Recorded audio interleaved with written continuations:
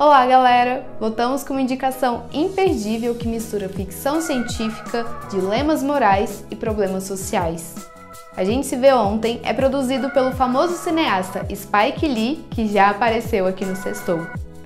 A aventura fala sobre família, diferenças culturais e a grande necessidade universal de corrigir os erros do passado. Meu nome é Ana Lua e começa mais um Sextou.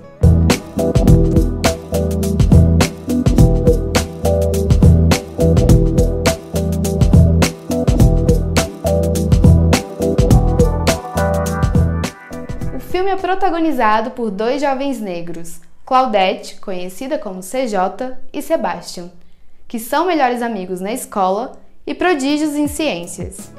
Eles passam o dia trabalhando na invenção capaz de fazê-los voltar no tempo. O longa mostra como a ficção científica cresce entrelaçada com questões sociais. Enquanto os dois amigos tentam dominar a viagem no tempo, um trágico tiroteio os coloca em uma série de situações perigosas. O deslocamento espaço-temporal denuncia os problemas enfrentados pelos negros contemporâneos. A invenção é um criativo recurso para falar da situação dos negros nos Estados Unidos. Essa contextualização faz com que a viagem no tempo assuma uma conotação social de luta contra os preconceitos raciais da sociedade. Claudette considera a obtenção de uma vaga na universidade como uma perspectiva concreta de transformar seu futuro e superar as adversidades sociais de seu ambiente. A influência de Spike Lee e a direção de Stephen Bristol demonstra a possibilidade da ficção científica se alimentar de fatos socialmente relevantes para criar um enredo com excelente conteúdo.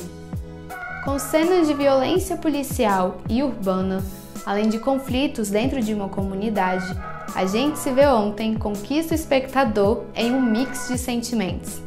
O filme é uma combinação de fantasia com drama social, sabendo bem como transitar entre os dois estilos. A obra constrói essa relação entre a brincadeira e o sério e nos traz o questionamento: Caso pudéssemos viajar no passado, nós mudaríamos alguma coisa? Deveríamos mudar? Responda nos comentários. Ficamos por aqui. Boas festas e um ano novo cheio de luta. Fique em casa.